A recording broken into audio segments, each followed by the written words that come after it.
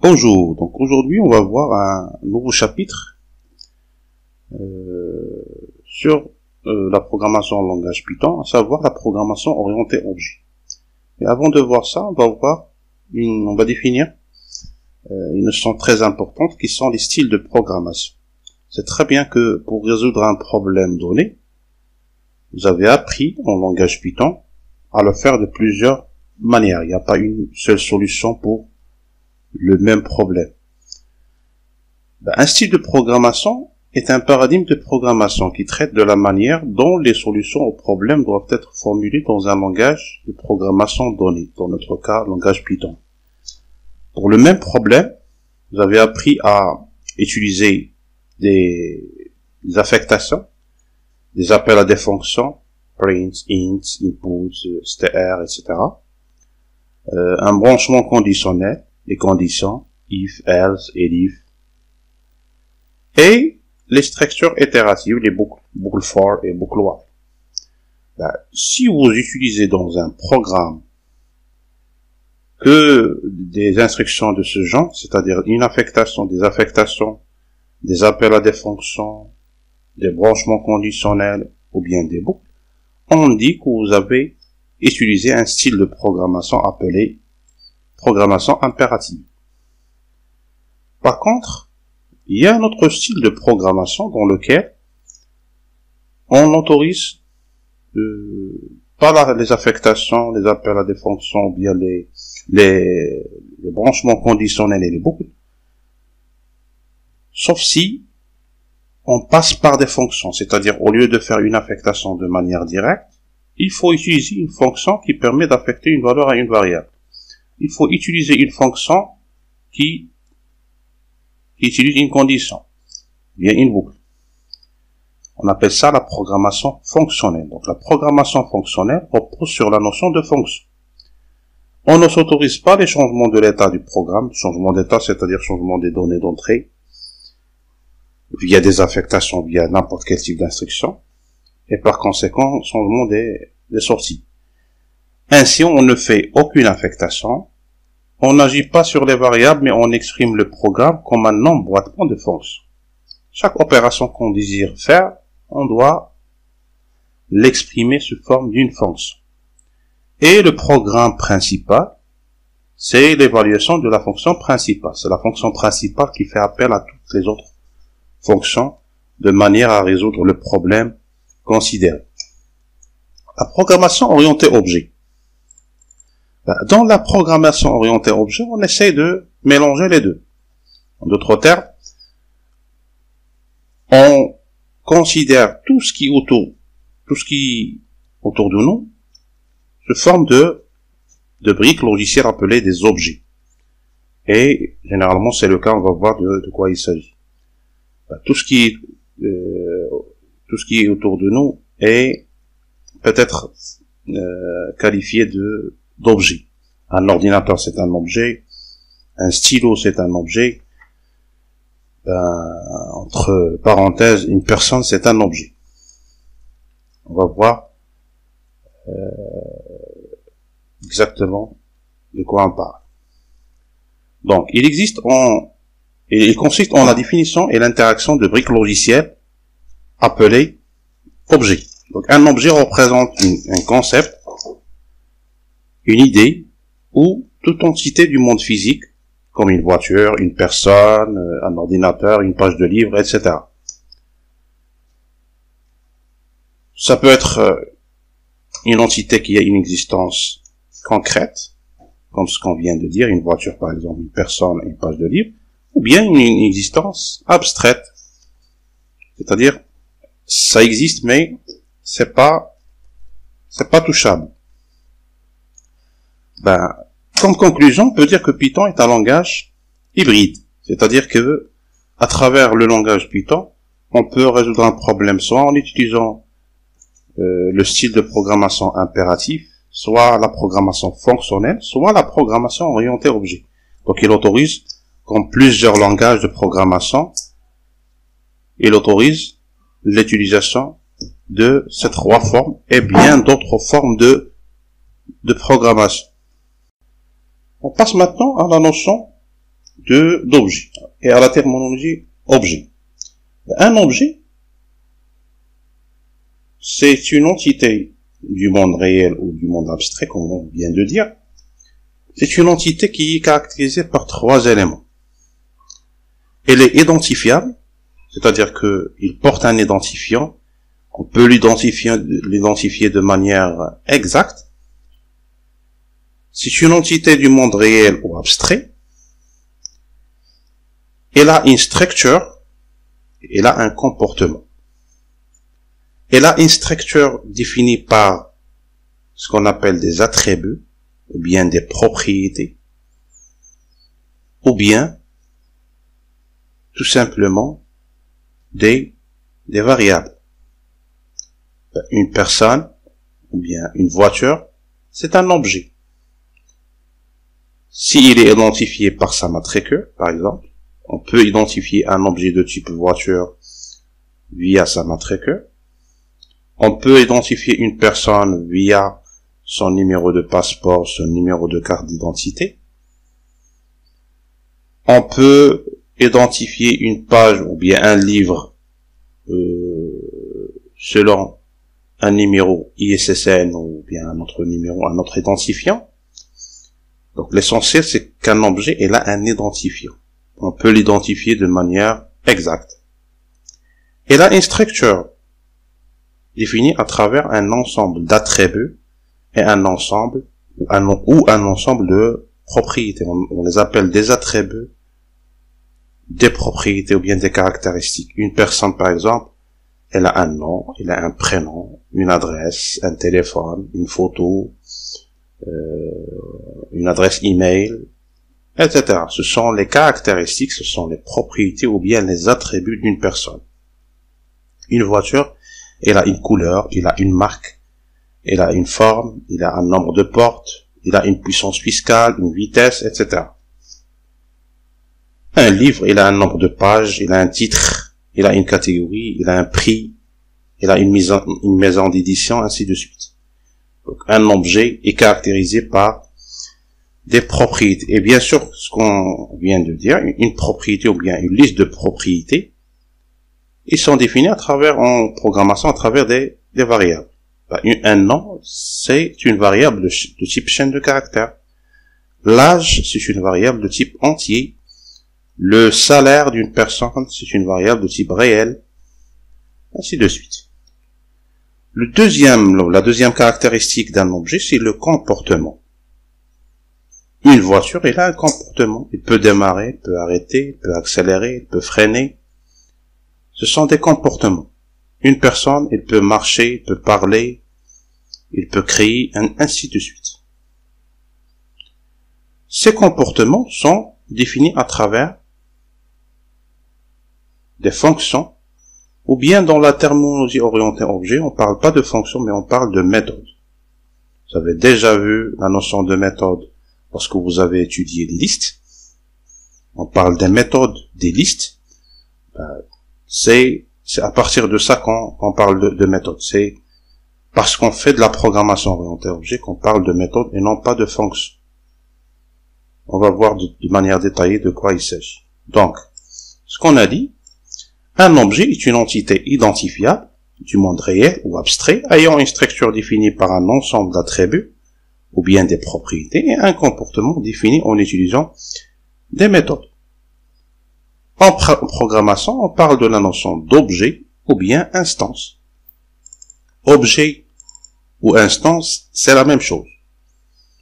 Et l'instanciation, c'est l'opération de création d'objets c'est l'objectif de ce chapitre, c'est de créer des objets et de les utiliser. Ben, la création de l'objet, on l'appelle instantiation. Pour créer euh, un objet ou bien pour créer des objets, on a besoin d'une entité, d'une autre entité qui va nous permettre de créer ces objets. C'est la notion de, de classe. Ben, c'est quoi une classe? Ben, C'est tout simplement un ensemble d'objets qui ont les mêmes méthodes et les mêmes attributs. Bien sûr, deux objets différents ne peuvent pas avoir le même identifiant. Donc on ne parle pas d'identifiant ici. Donc deux objets qui ont les mêmes méthodes et les mêmes attributs, qui ont les mêmes comportements et la même structure, on dit qu'ils appartiennent à la même classe. Une classe, c'est un ensemble d'objets ayant les mêmes méthodes et les mêmes attributs. Ben, on appelle une classe une usine à objets, parce que l'objectif de la création d'une classe, c'est de créer des objets avec. Par exemple, on parle de la classe voiture, la classe feu tricolore, la classe professeur ou personne. On parle de manière générale. Quand on dit un ensemble d'objets ayant les mêmes méthodes et les mêmes attributs, bah, chaque objet peut utiliser ces méthodes comme il veut. Et chaque objet, il peut attribuer des valeurs aux attributs comme il veut. L'essentiel, c'est que tous ces objets qui appartiennent à la même classe, ils ont les mêmes attributs. C'est-à-dire qu'on deux voitures différentes sont deux objets différents avec deux matricules différentes ils ont une couleur, ils ont un nombre de portes, une vitesse, une puissance fiscale, mais bien sûr, chaque voiture est là ses propres valeurs. L'essentiel, c'est que tous ces attributs sont des attributs communs aux deux voitures, aux deux objets. C'est ce qu'on veut dire par les mêmes méthodes et les mêmes attributs. Bah, c'est quoi un attribut? On vient, on vient de le définir. C'est tout simplement une variable qui possède un nom, un identificateur, un nom, et une valeur. C'est une propriété de l'objet. Et bien sûr, l'état d'un objet, il regroupe les valeurs instantanées de tous ces attributs. Quand on dit par exemple une voiture et les deux couleurs rouges de marque euh, Renault, de puissance fiscale 7, de, de modèle euh, ou bien fabriqué en 2010, ce sont des valeurs. Bah, l'ensemble de ces valeurs, il forme une partie de ce qu'on appelle l'état de l'objet. Cet état, il évolue au cours du temps. C'est-à-dire, il peut changer. On peut changer la couleur d'une voiture. Plusieurs fois si on veut. C'est la conséquence de ces comportements passés. Par exemple, la vitesse à un instant donné, la vitesse d'une voiture, elle est par exemple de 100 km à l'heure. Après euh, un temps, après 10 secondes, 20 secondes, c'est pas la même vitesse il peut changer au cours du, temps, et c'est la conséquence de ses comportements passés. C'est-à-dire, si un comportement accéléré, par exemple, il va permettre de d'augmenter la vitesse. C'est ce qu'on veut dire par l'état d'un objet. Bah, pour définir, pour définir euh, une classe, parce qu'il faut définir une classe et à partir de la classe, on va créer des des objets. Pour définir une classe, qu'est-ce qu'on fait? Voilà. On va définir ici, définition de la classe voiture avec les attributs. Voilà, on a dit qu'une classe, elle a des attributs, elle a des comportements. On va commencer euh, tout simple avec les attributs. Donc on va prendre la couleur, on va prendre la marque, on, va prendre réserve d'essence, et on va prendre la vitesse. On peut dire que une, classe de voiture, elle a ses caractéristiques. Bien sûr, il y a d'autres caractéristiques pour, pour une classe, pour des objets de type voiture, mais on va se contenter de ça, pour bien comprendre de quoi il s'agit. pour définir une classe, on commence par le mot-clé classe.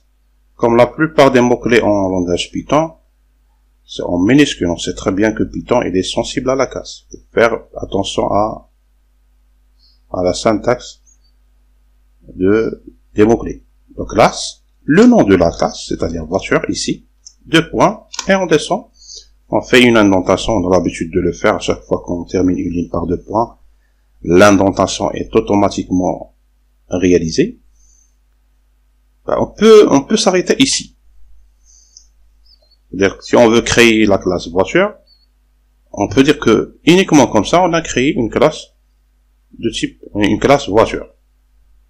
Mais bien sûr, pour créer des objets à partir de, cette classe, ce sera des objets qui ne servent euh, vraiment à, pas beaucoup de choses.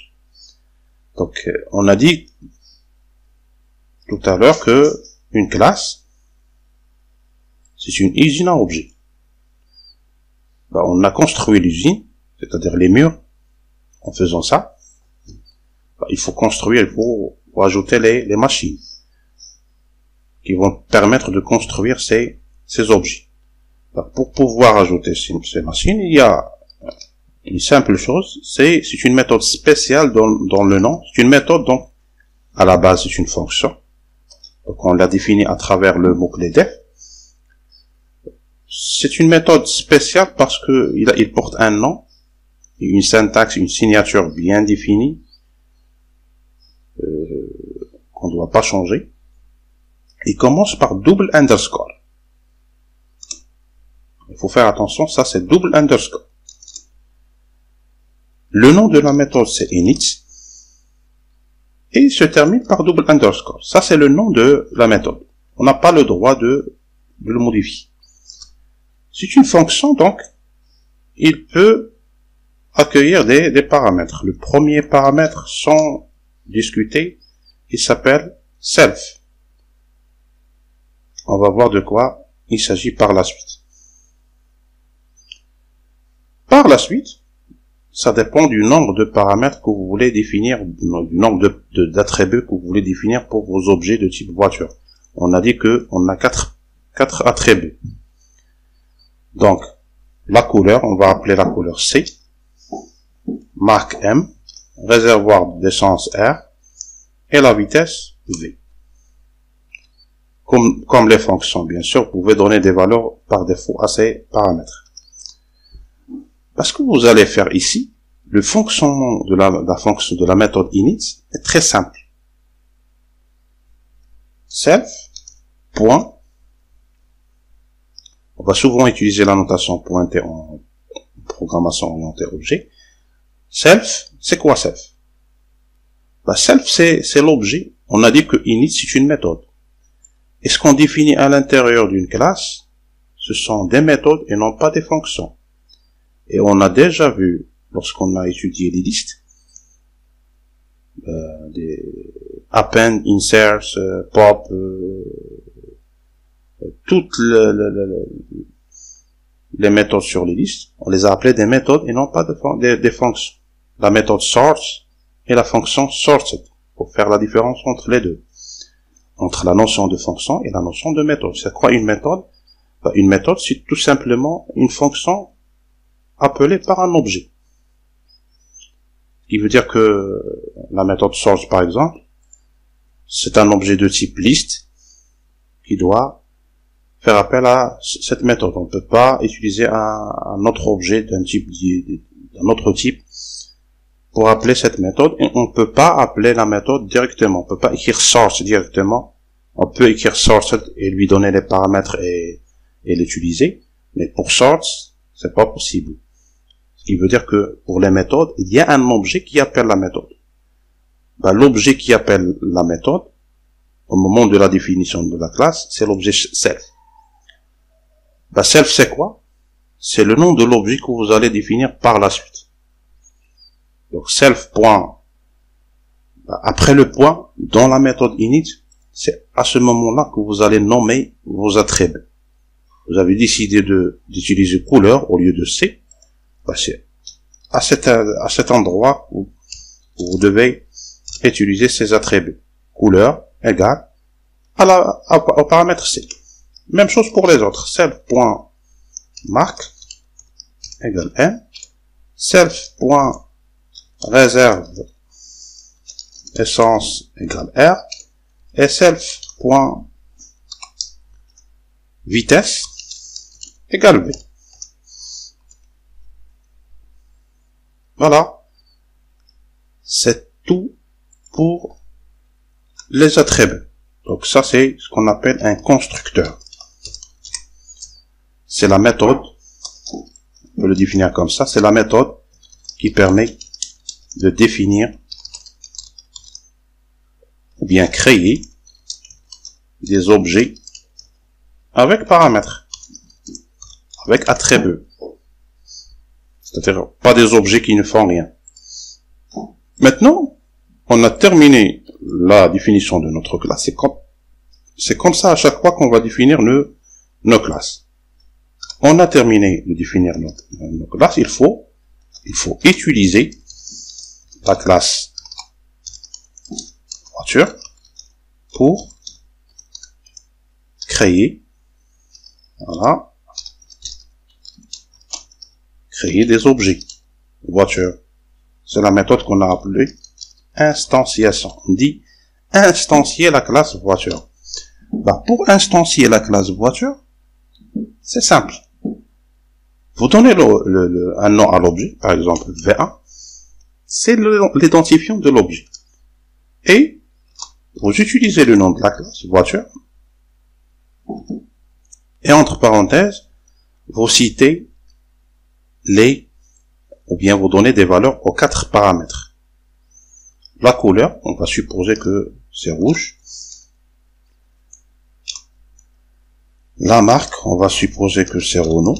Vous pouvez donner les valeurs que vous voulez, ce sont des paramètres. Le réservoir d'essence, c'est un réel, par exemple, c'est 100 litres, 100. Et la vitesse initiale, c'est 0.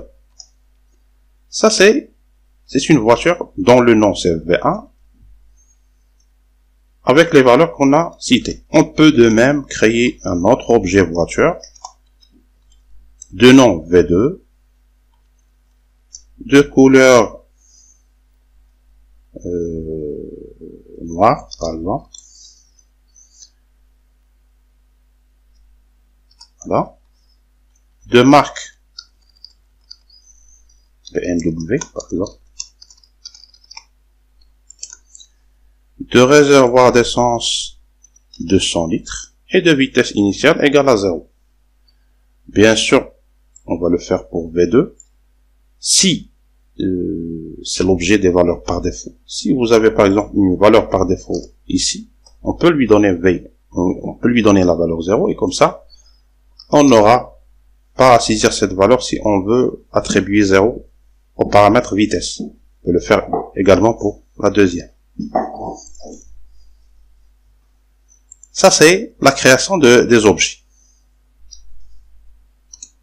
Maintenant, si on veut, on a, on a dit que euh, l'état d'un objet, ce sont les valeurs de tous les paramètres à un instant donné. Cet état, il évolue au cours du temps, et c'est la conséquence de ses comportements passés. Donc l'état de V1. Ben, pour accéder à l'état de V1, c'est très simple. Pour la marque, c'est V1, on utilise la notation pointée. Donc c'est V1 point marque. Pour la couleur, voilà, on va l'utiliser comme ça. C'est V1 point couleur. Pour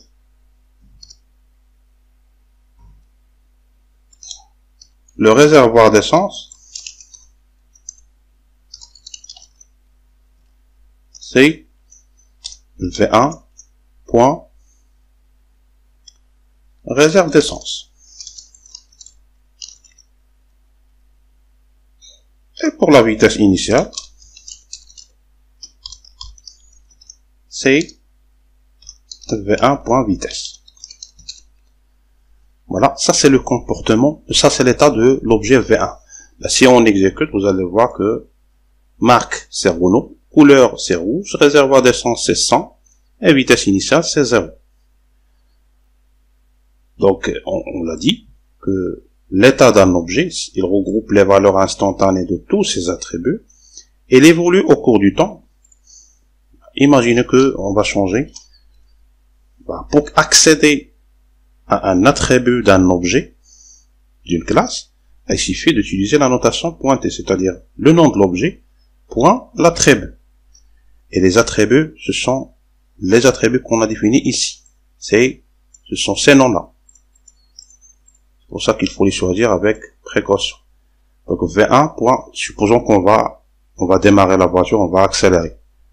Donc la vitesse devient égale à 20 km. On va recopier la, même ligne et on exécute. Vous voyez que la marque c'est toujours rouge, la couleur c'est toujours rouge, le réservoir d'essence c'est 100, et la vitesse, ce n'est plus 0, c'est 20. C'est pour ça qu'on a dit que l'état de l'objet, c'est-à-dire les valeurs instantanées de tous ces attributs, il évolue au cours du temps. C'est la conséquence de ces comportements passés. Le fait de passer de 0 à 20, ça veut dire que la voiture, il a démarré ou bien il, est, il a accéléré. Bien sûr, on augmente la vitesse, on peut diminuer le, le réservoir d'essence, et ainsi de suite. Ça, c'est pour créer une classe et créer des objets. Donc c'est ce qu'on a fait. On a créé une classe, on a créé des objets à partir de cette classe et on a accédé à l'état de l'objet à l'instant 0 par exemple. On a modifié euh, la vitesse, on a modifié les valeurs. Bien sûr, on a la possibilité de modifier n'importe quelle, quelle, valeur d'attribut. On peut le faire par exemple pour V2 les deux points à réserve d'essence, on peut le faire pour les deux, moins égal 10. On va décrementer ça de 10 et par la suite on peut afficher réservoir d'essence de V2, ce sera V2 pour un réserve essence. Vous allez voir que ce qu'on aura, ce sera 190 et non pas 200 qui est la valeur de départ. Ici, on n'a pas donné de vitesse parce que la, valeur de la vitesse par défaut c'est 0. Vous allez voir, print vitesse initiale pour V2. Voilà, V2.vitesse. Vous allez voir que c'est, ce sera 0. C'est la valeur par défaut. Voilà pour la création de la classe,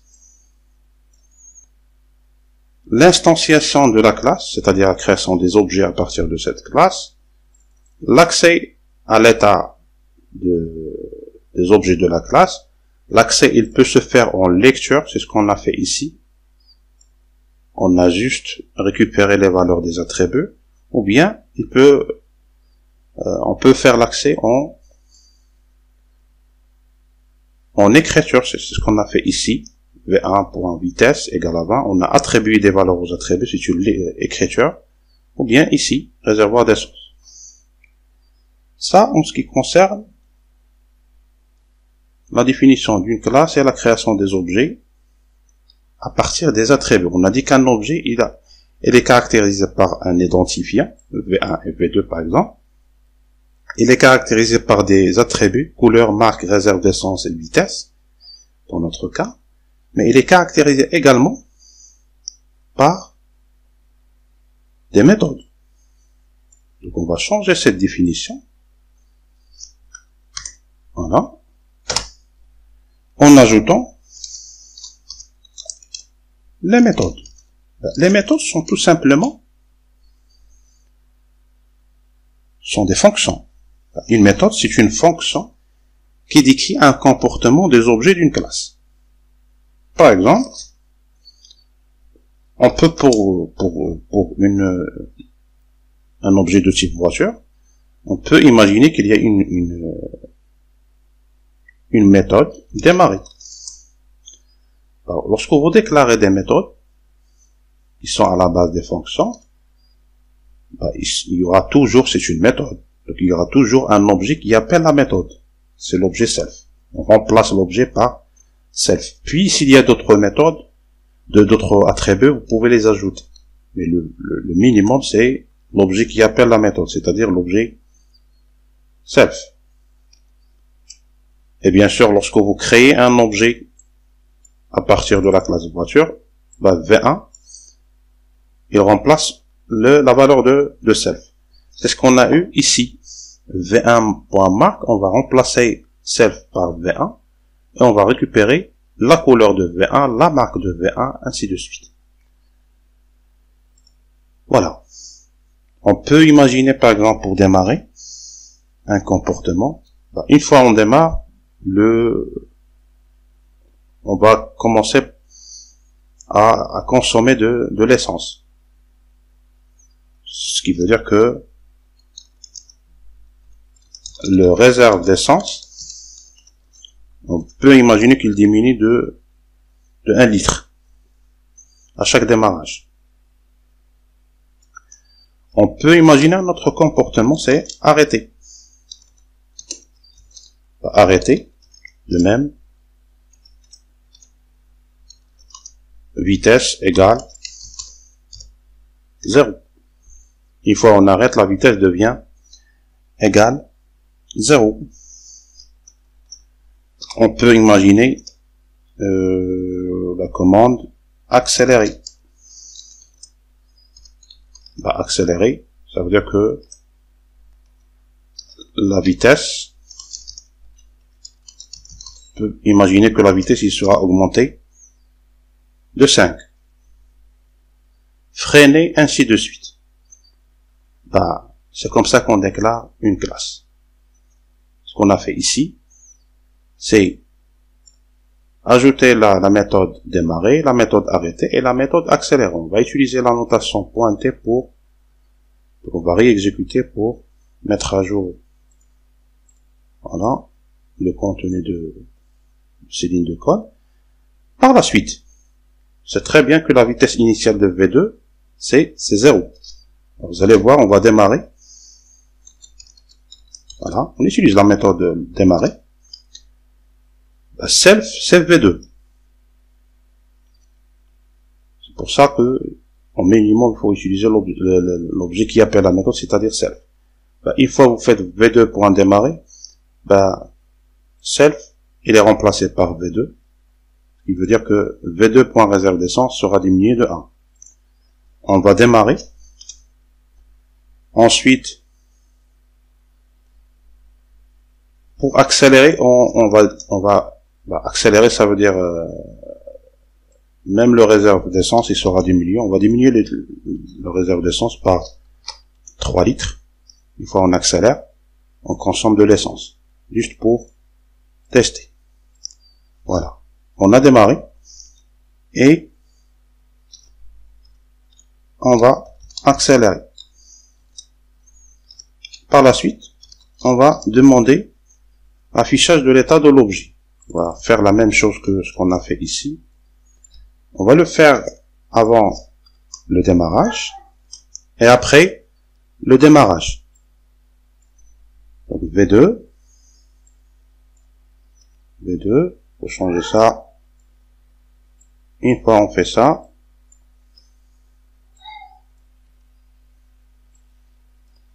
voilà, on exécute.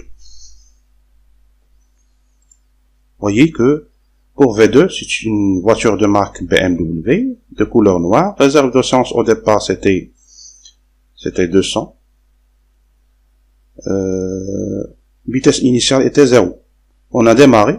On sait très bien que pour euh, lorsqu'on démarre, le réserve d'essence diminue de 1 litre, c'est-à-dire de 200, on passe à 199. On a accéléré, on augmente la vitesse de 5, de 0 devient, la, la vitesse devient égale à 5, et le réserve d'essence diminue de 3, c'est-à-dire au total on aura moins 4 litres d'essence, c'est-à-dire de 200 on passe à 196, et plus 5 dans la vitesse. Et bien sûr, on peut faire ce comportement plusieurs fois, pour accélérer. On accélère par exemple plusieurs fois. Voilà. Vous allez voir que le comportement, ou bien l'état de l'objet, il sera, euh, voilà. Après 196, on a accéléré combien de fois? 1, 2, 3, 4.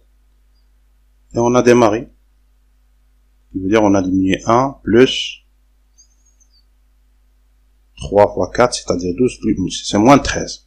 186 moins moins 13, ça fait 183. Et pour la vitesse, on a augmenté de 5, on a augmenté 4 fois. Ça, ça va faire 4 fois 5, c'est 20, plus 5, c'est 25. Voilà. Voilà pour le, la déclaration des, des méthodes. Donc on va essayer d'appliquer euh, les notions qu'on vient d'aborder dans un exercice, exercice 1.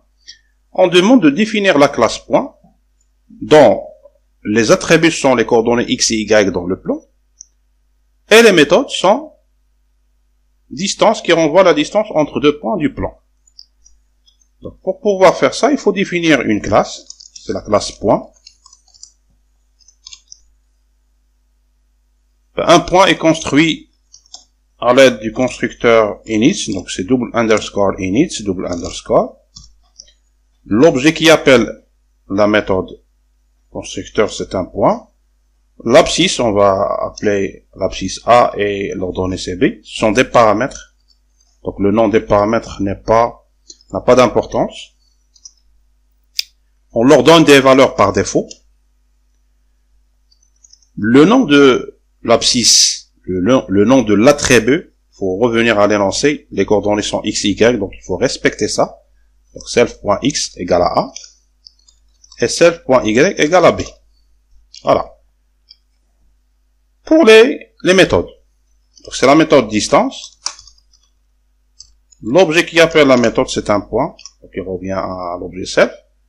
Et on a besoin, pour calculer la distance entre deux points, il y a l'objet qui appelle la méthode, c'est un point, et on a besoin d'un deuxième point, on va appeler ce point P. Voilà.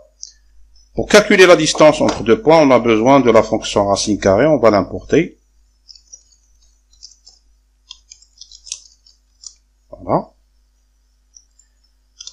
Donc on va retourner.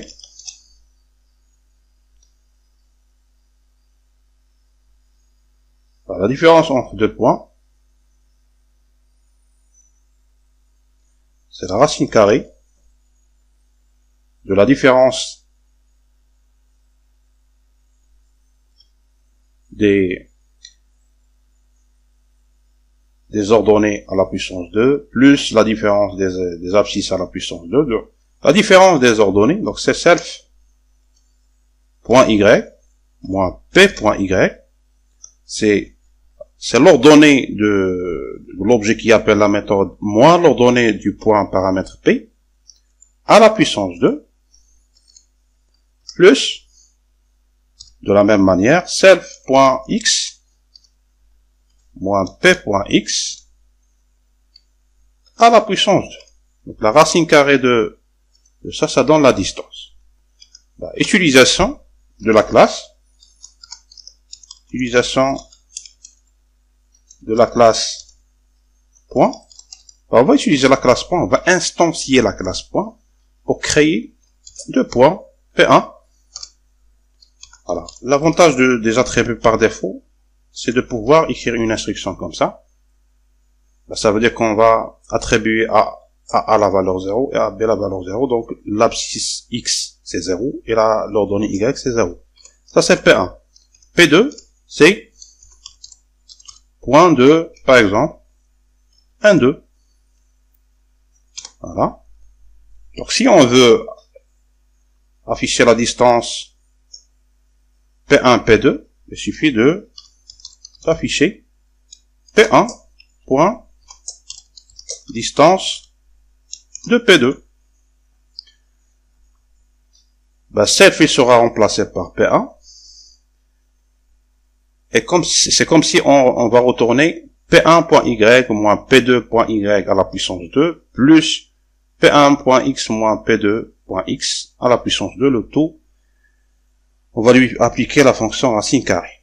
Donc si on exécute, voyez que c'est 2,23 la distance entre P1 et P2, c'est c'est 2 moins 0, c'est 2, à la puissance 2, c'est 4, et 1 moins 0, c'est 1, à la puissance 2, c'est 1, c'est racine de 5. C'est la distance entre P1 et P2. Vous pouvez même remarquer que il n'y a pas de différence dans ce, contexte de d'utiliser la, fonction de distance. Comme ça, ça va, ça doit donner le même résultat. voyez? Que P1 soit l'objet qui appelle la méthode distance, ou bien P2, c'est l'objet qui appelle euh, la méthode distance, ça revient en même. Voilà pour l'exercice 1. J'espère que c'était clair. On va passer aux notions suivantes. Donc on va continuer avec la, notion des méthodes accesseurs et mutateurs. Quel que soit le langage de programmation, en, programmation orientée objet, euh, il est préférable de passer par des propriétés pour changer les valeurs des attributs. Passer par des méthodes et non pas par des propriétés. Alors bien que cela ne soit pas obligatoire, il existe une convention de passer par ce qu'on appelle des getters. Ce sont des méthodes qui permettent de récupérer les valeurs des attributs. On les appelle des getters ou bien des accesseurs en français. Et les setters, ce sont des mutateurs en français qui permettent de changer la valeur d'un attribut. Cela permet de garder une cohérence pour le programmeur. Si je change un attribut, souvent cela peut également impacter d'autres attributs et les mutateurs permettent de faire cette modification une fois pour toutes. Ce qui veut dire que au lieu de, au moment de la déclaration, généralement, on déclare les attributs. Ça, ce sont des attributs accessibles. Vous avez vu que j'ai pu, grâce à la notation pointée, j'ai pu accéder à, à la valeur de la marque de V1, à la couleur de V1, à la aux réserves d'essence de V1, à la vitesse de V1. Et j'ai pu également modifier la valeur d'un attribut. J'ai modifié la vitesse de, de V1. Ce qui, ce qui veut dire que on a accédé à, aux attributs en lecture et en écriture. Ben, la bonne pratique en programmation orientée objet, c'est le fait de déclarer les attributs comme des attributs privés. C'est-à-dire euh, interdire l'utilisation ou l'accès directement par les attributs à l'extérieur de la classe. C'est-à-dire que je peux accéder à l'attribut ici à l'intérieur de ma classe, mais une fois on termine notre déclaration de notre classe, on n'a plus l'accès aux attributs, ni en lecture, ni en écriture. En contrepartie, l'utilisateur, celui qui a, le développeur, celui qui a créé la classe, à travers des méthodes spéciales, il autorise l'accès à certains attributs. Des attributs pour le, le, le développeur, il trouve que c'est, c'est logique de donner un accès à, aux valeurs de ces attributs, soit en lecture, soit en écriture, soit aux deux. Comme il peut, par exemple, ne pas donner accès euh, à un attribut donné, parce que cet attribut sera utilisé par les méthodes de la classe, et l'utilisateur de la classe, n'a aucun intérêt à modifier ou bien à recevoir la valeur de, de cet attribut. Ces méthodes sont appelées des mutateurs ou bien des setters et des accesseurs ou bien des getters.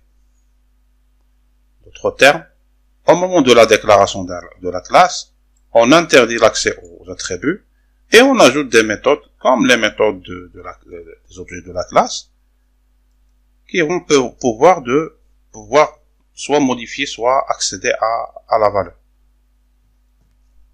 Autrement dit, si je veux, par exemple, déclarer un, un mutateur, un mutateur pour l'attribut. On va choisir un attribut, un mutateur pour l'attribut couleur, par exemple. C'est très simple. On définit une méthode, un mutateur ou bien un setter donc, euh, par convention, on n'est pas obligé de, suivre cette convention, mais c'est préférable de, faire ça. Comme ça, euh, tous les imitateurs, ils, commencent par le même préfixe, c'est 7. Voilà, 7 couleurs, par exemple. Il s'agit de la couleur. 7 couleurs. Et entre parenthèses, on va donner le paramètre par défaut, certes, l'objet qui appelle la méthode, et la valeur d'une couleur. Par exemple, une chaîne vide. Et qu'on va faire ici, self.couleur égale C. Bah, les mutateurs sont des méthodes qui prennent des, paramètres, un paramètre généralement, et qui affectent la valeur de ce paramètre à un attribut d'une classe. Ce sont des méthodes qui ne retournent aucune valeur. Ce sont des, euh, des, des, des procédures. Pour les accesseurs, on va déclarer un accesseur pour l'attribut vitesse, par exemple. Un accesseur ou bien un getter, de la même manière, c'est une convention, commence le nom par get, c'est un getter, et le nom de l'attribut qu'on cherche à, avoir, c'est-à-dire la vitesse ici. Un paramètre omniprésent, c'est l'objet qui appelle la méthode. Ben, les getters sont des méthodes qui ne prennent aucun paramètre, mais qui retournent la valeur d'un attribut. Ici, c'est la vitesse. Voilà. Toutes les méthodes getter ils sont de cette manière, et toutes les méthodes euh, setter sont de, de cette forme. Et d'ailleurs, la plupart des, des éditeurs de, de, la plupart des langages de programmation, ils, ils donnent la possibilité de d'ajouter les setters et les getters automatiquement dans le code. C'est-à-dire, il suffit par exemple dans certains éditeurs de faire un clic droit et vous allez trouver, euh, par exemple, insérer du code et vous choisissez des getters ou bien des setters ou bien les deux. Puis vous choisissez les attributs et le code sera inséré automatiquement. Vous voyez que le code le code est, très simple. De cette manière, si vous voulez modifier la valeur d'une variable, on va pas le faire comme ça, on va appeler euh, la méthode set vitesse. C'est pas celle-là, ça c'est, il permet de recevoir la valeur. Si vous voulez la valeur de la vitesse, c'est-à-dire recevoir la valeur de l'attribut vitesse, on va pas le faire comme ça, mais on va appeler la méthode get vitesse. Donc c'est v1.getVitesse au lieu de, ça. Bien sûr, puisqu'on n'a pas déclaré de méthode getter ni de méthode setter pour les autres attributs, ça veut dire que le développeur, celui qui a créé le programme, il ne veut pas donner la main l'accès ni en écriture ni en lecture à ces paramètres, pour une raison ou bien une autre. Voilà. Notion suivante, la notion de constructeur et de, de descripteur, le vide d'un objet constructeur, on a déjà vu, c'est la méthode init. À la déclaration d'un objet, les attributs ne sont pas initialisés. Cette phase d'initialisation des attributs est, effectuée par une méthode particulière qu'on appelle constructeur. Une classe, peut définir son constructeur, ses constructeurs, avec des paramètres différents. Autant que le constructeur est appelé lors de la construction de l'objet. D'autres termes, on peut créer plusieurs constructeurs dans la classe ça dépend de comment on va construire nos, objets. Et il est possible de construire des, des, voitures, par exemple, en précisant la couleur, la marque, le, le réserve d'essence et la vitesse.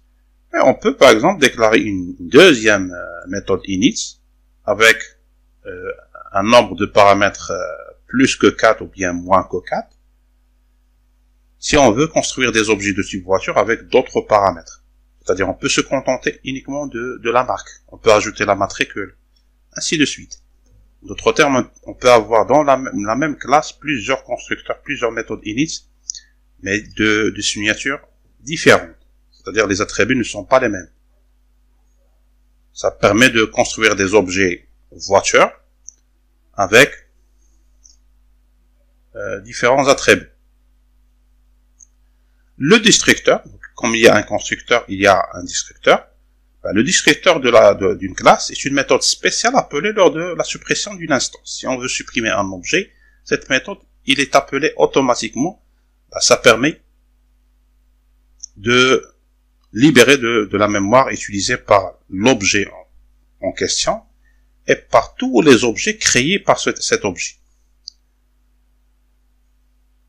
dans la plupart des langages, il y a un programme qui est exécuté en, background, en, arrière-plan, qui permet de faire cette tâche. Il libère le, de la mémoire associée à des objets qui ne sont plus utilisés. On l'appellera massmiette ou bien garbage collector.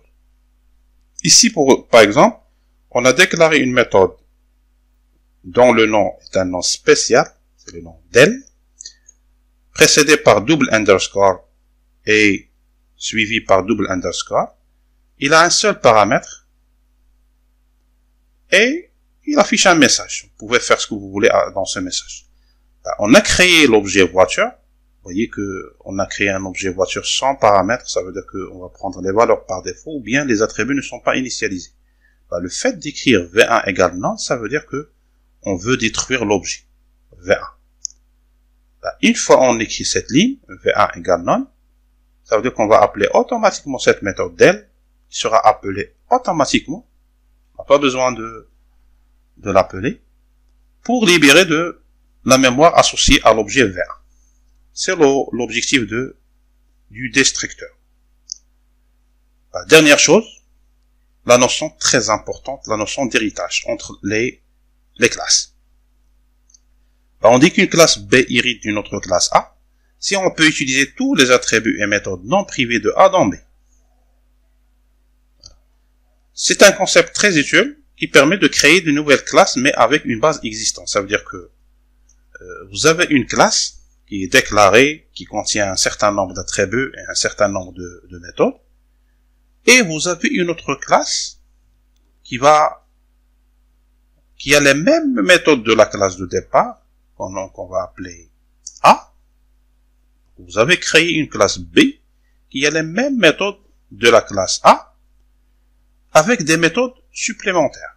Ben, au lieu de refaire toutes les déclarations, il suffit de dire que la classe B hérite de la classe A.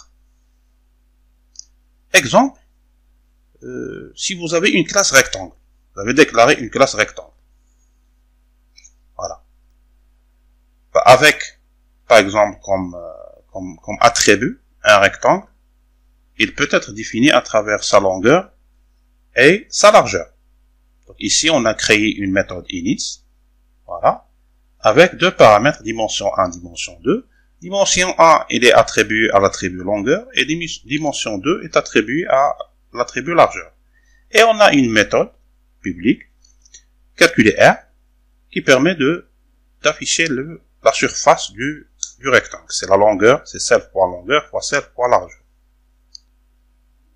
Voilà. Supposons que vous voulez créer une deuxième classe, c'est la classe carré. La classe carré, on sait très bien, c'est ce qu'il faut se demander, est-ce qu'il y a une relation sémantique entre un carré et un rectangle? Ben, Un carré, on peut le dire directement, un carré est un cas particulier d'un rectangle.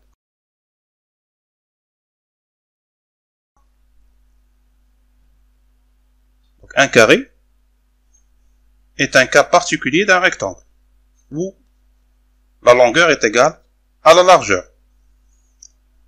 Ça veut dire en pratique que il y a la notion d'héritage entre les deux. Il est très possible d'avoir un, héritage entre les deux. À chaque fois que vous pouvez l'écrire sur une feuille de papier, euh, écrivez le nom de la première classe, c'est la classe B. Ensuite, euh, laissez un espace, écrivez le nom de la classe, euh, euh la première, la deuxième classe, classe A, et essayez d'écrire une, une phrase du genre un ou bien est une. Et essayez de voir est-ce que ça, ça donne une phrase sémantiquement correcte.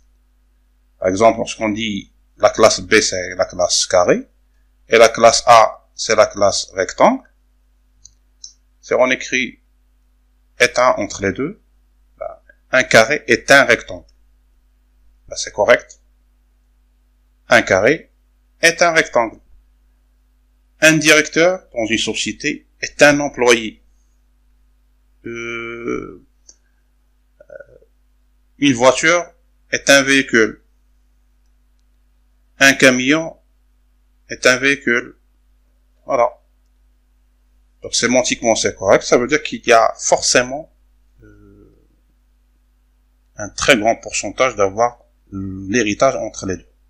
Ici, on déclare, pour déclarer la relation d'héritage, il suffit de, au moment de la déclaration de la classe, de, la nouvelle classe, ici c'est la classe B, entre parenthèses, vous pouvez écrire la classe à partir de laquelle la classe B, elle peut hériter.